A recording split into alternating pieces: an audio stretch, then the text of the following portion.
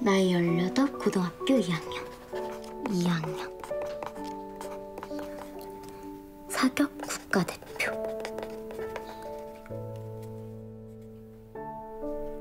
키는 180.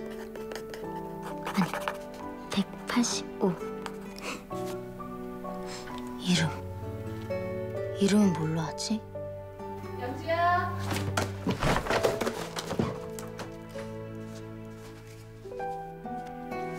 수라, 전화 왔다. 어, 어.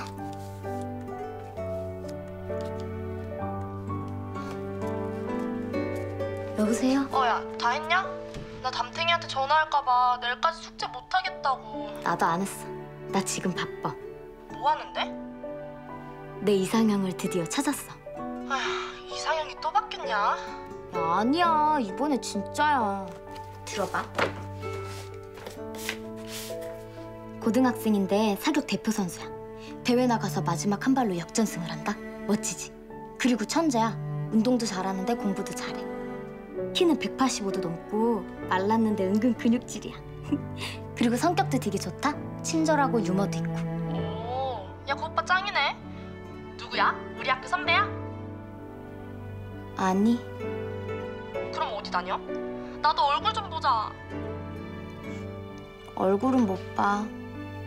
만날 수가 없거든.